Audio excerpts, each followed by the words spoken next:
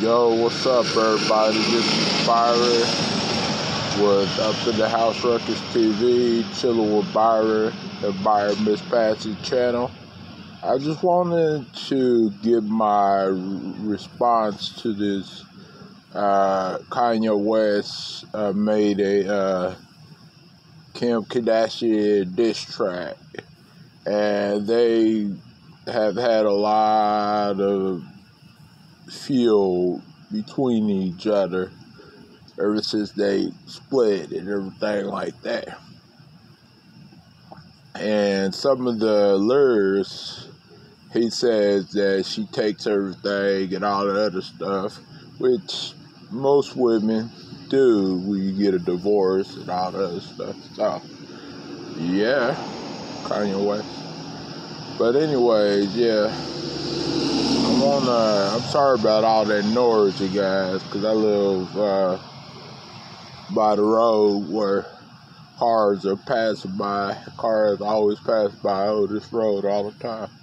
But uh, anyways, uh, let's get into it. This is under fair use. It's for copyright purposes only. And let's go. Hey everyone, and welcome back to my channel.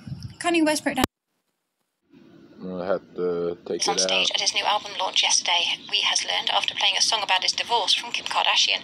In his new track, Welcome to My Life, Yeezy rapped about his Welcome tough, to tough last two years, which included his split from the reality star, his tw- meltdown on Twitter, and his failed bid to become US president. Yeah, Kanye West has had a has had multiple meltdowns.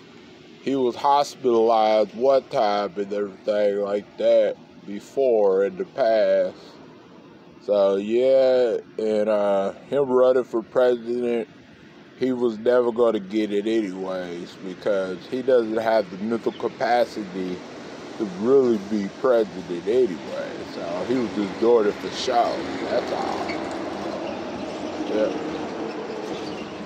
I should have did this video inside, you know, because too much noise. But uh, it'll be okay, you guys. But anyways, yeah. Tell me what y'all guys think about this. The song, Kanye, 44, rapped, Tell the Assassins I Escaped from Calabasas. In that bar, Kanye seems to liken his and Kim's marital home in Calabasas, LA, to a prison which he escaped.